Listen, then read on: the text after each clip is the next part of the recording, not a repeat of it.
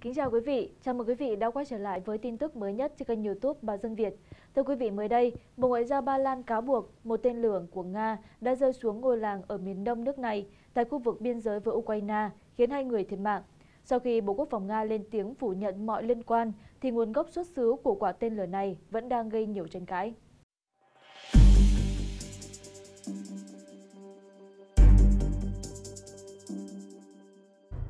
Chính phủ Ba Lan hôm 16 tháng 11 cho biết một tên lửa đã rơi xuống khu vực biên giới giáp với Ukraine ở miền đông của nước này, khiến hai người thiệt mạng. Theo đó, quả tên lửa được ghi nhận đã rơi xuống khu vực chữ ngũ cốc tại làng Prigozhin vào tối 15 tháng 11. Trong khi Bộ Ngoại giao Ba Lan khẳng định quả tên lửa rơi tại khu vực miền đông của nước này do Nga chế tạo, Tổng thống Ba Lan Andrzej Duda đã tỏ ra thận trọng hơn khi nói về nguồn gốc xuất xứ của quả tên lửa này. Ông Duda nói các quan chức vẫn chưa xác định rõ quả tên lửa do lực lượng nào phóng đi và được chế tạo ở quốc gia nào.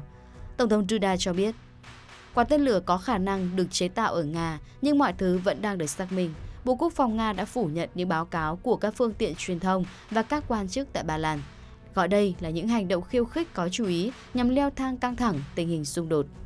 Tuyên bố của Bộ Quốc phòng Nga nhấn mạnh các lực lượng Nga không phóng bất kỳ loại vũ khí nào vào khu vực biên giới giữa Ukraine và Ba Lan. Những hình ảnh về thiệt hại tại khu vực làng Prirodo được truyền thông Ba Lan công bố không hề có liên quan đến các loại vũ khí của các lực lượng Nga. Tổng thống Ba Lan Duda cho hay, chính phủ nước này đang hành động một cách bình tĩnh, do đây là một tình huống căng thẳng. Tổng thư ký Tổ chức Hiệp ước Bắc Đại Tây Dương NATO Jens Stoltenberg đã triệu tập một cuộc họp khẩn cấp dự kiến diễn ra trong ngày 16 tháng 11 giữa đại diện của những nước thành viên trong liên minh để bàn luận về sự việc vừa xảy ra tại khu vực biên giới giữa Ba Lan và Ukraine. Trước đó, Hội đồng Bảo an Liên Hợp Quốc dự kiến tổ chức một cuộc họp vào hôm 16 tháng 11 về tình hình xung đột tại Ukraine. Vụ việc vừa xảy ra tại Ba Lan nhiều khả năng sẽ được đưa ra bàn luận trong cuộc gặp này. Trong các tuyên bố chính thức của mình, Ba Lan và NATO vẫn đang tỏ ra thận trọng khi chưa xác nhận quả tên lửa rơi tại Ba Lan là một vụ tấn công từ phía Nga. Tuyên bố từ chính quyền Ba Lan không nhắc đến hoàn cảnh ở thời điểm quả tên lửa rơi xuống khu vực miền đông của nước này. Trong khi đó, một tuyên bố từ NATO đã gọi vụ việc là một sự kiện đau buồn. Nếu được xác nhận đây sẽ là lần đầu tiên một quả tên lửa của Nga rơi xuống một quốc gia thuộc khối NATO kể từ khi xung đột tại Ukraine bùng phát. Theo nguyên tắc phòng vệ về tập thể, nền tảng của khối NATO, một cuộc tấn công nhằm vào một quốc gia thành viên được coi như cuộc tấn công nhằm vào cả khối. Việc này có thể sẽ kích hoạt điều 5 của NATO. Theo đó, điều 5 là nền tảng của Hiệp ước thành lập nên NATO. Vào năm 1949, NATO được thành lập với quân đội Mỹ là trụ cột chính, có mục tiêu chống lại Liên Xô cùng các nước thuộc khối xã hội chủ nghĩa trong chiến tranh lạnh. Điều 5 quy định, các bên đồng ý rằng một cuộc tấn công vũ trang chống lại một hoặc nhiều thành viên trong liên minh ở châu Âu hoặc Bắc Mỹ sẽ được coi là một cuộc tấn công chống lại tất cả. Hiến trương NATO viết, tất cả đồng ý rằng nếu một cuộc tấn công vũ trang như vậy xảy ra, mỗi thành viên trong liên minh thực hiện quyền tự vệ đơn lẻ hoặc tập thể được Điều 51 của Hiến trương Liên Hợp Quốc công nhận sẽ hỗ trợ bên hoặc các bên bị tấn công ngay lập tức. Với tư cách đơn lẻ và phối hợp với các thành viên khác, những hành động cần thiết bao gồm cả sử dụng tới lực lượng vũ trang nhằm khôi phục và duy trì an ninh khu vực Bắc Đại Tây Dương. Tuy vậy, việc kích hoạt Điều 5 sẽ cần sự đồng ý của tất cả các thành viên NATO. Sau khi xảy ra cuộc tấn công vào một quốc gia thành viên, các nước khác sẽ cùng tham vấn để xác định xem liệu tình huống có kích hoạt điều năm hay không. Không có giới hạn về thời gian của các cuộc tham vấn trên, các chuyên gia cho rằng ngôn ngữ trong hiến trương NATO đủ linh hoạt để cho mỗi thành viên tự quyết định xem sẽ đáp trả mạnh mẽ đến mức nào.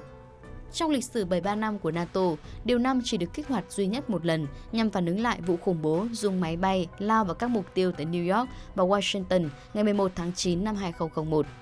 Trong khi khẳng định rằng Mỹ sẽ không có lợi ích từ việc gây chiến với Nga, Tổng thống Joe Biden đã tuyên bố ngay từ đầu cuộc xung đột rằng Washington sẽ đáp ứng các cam kết trong Điều 5 để bảo vệ đồng minh NATO. Ông Biden tuyên bố tại Nhà Trắng vào tháng 9, Mỹ đã chuẩn bị đầy đủ cùng các đồng minh để bảo vệ từng tấc lãnh thổ của NATO, từng tấc một. Hiện Kiev không phải thành viên NATO, cuộc tấn công của Nga và Ukraine đã không kích hoạt Điều 5. Tuy vậy, Mỹ và các quốc gia thành viên NATO đã cung cấp hỗ trợ quân sự và ngoại giao cho Ukraine.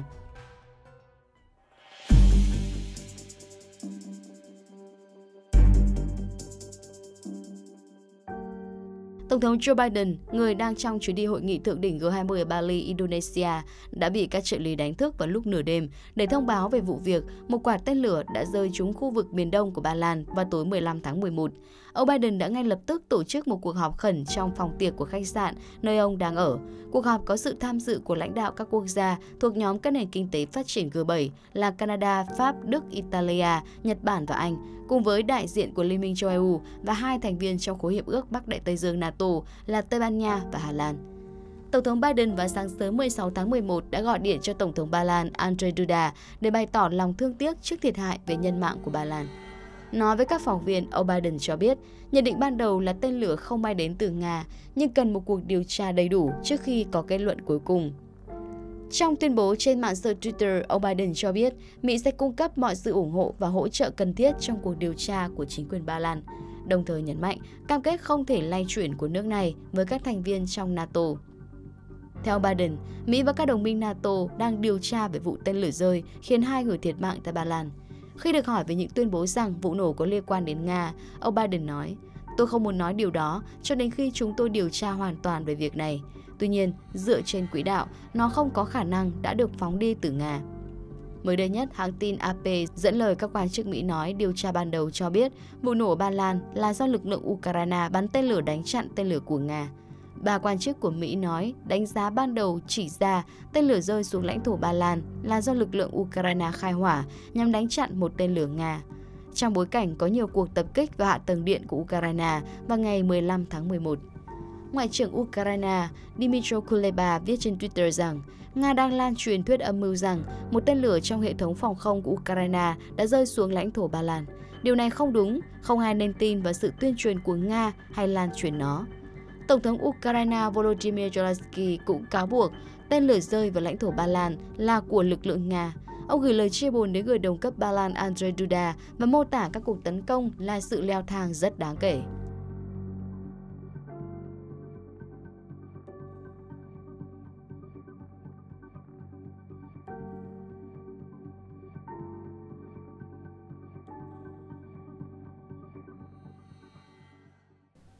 Các chuyên gia từ lâu đã cảnh báo về khả năng xung đột lan rộng sang các nước láng giềng ở sườn phía đông của NATO, có thể buộc liên minh này phải đáp trả bằng hành động quân sự. Trong trường hợp nếu Moscow gây ra vụ nổ tại Ba Lan, dù cố ý hay vô tình, nguy cơ mở rộng xung đột cũng sẽ tăng lên. Liệu chủ mưu thực sự của chiếc tên lửa rơi xuống Ba Lan là bên nào? Âm mưu gì đang ẩn giấu phía sau động thái này? Những thông tin mới nhất sẽ được chúng tôi liên tục cập nhật để gửi tới quý vị và các bạn. Còn bây giờ, xin chào và gặp lại.